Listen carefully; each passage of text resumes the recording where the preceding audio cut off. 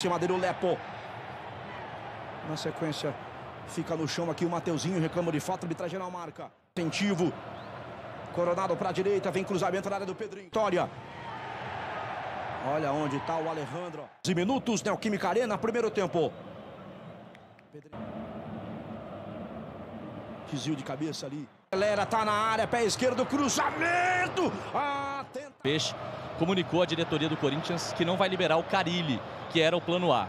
Corinthians ataca já com Tentar cruzamento no Mateuzinho, bola viajando, a tentativa de cabeça Consegue ficar um pouquinho mais nesse campo defensivo do Vitória. do Vinícius Bueno. Acelera o Corinthians pela direita. Por lá é o Pedro Henrique. Conseguiu fazer o cruzamento pro Alberto no bate. E agora um detalhe curioso, Wesley de novo é chamado aqui à beira do gramado para conversar com o Rafael Laruccia, o auxiliar. Volta o Pedro, por dentro tem o Garro. O Garro vai receber, vai bater de pé esquerdo, bateu.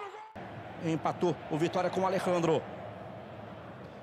Pedro Henrique. Uri faz a proteção, trabalha com o Pedro, dominou, saiu da área, demorou demais. Ele com o Wagner Leonardo. Aí o PK. Chega em ação bem alta para tentar é, impedir a saída do direita, vem pro Pedro Henrique. Fez ali o drible, jogadinha de futsal, vai levando, vai caminhando com ela, joga no Pedro. Pedro domina, em cima dele a marcação do PK. Olha o Pedro. O fato é que o Corinthians agora nesse segundo tempo acaba se instalando um pouquinho mais no campo defensivo. Calan, como foi o Pedro Henrique? Muita entrega sem bola.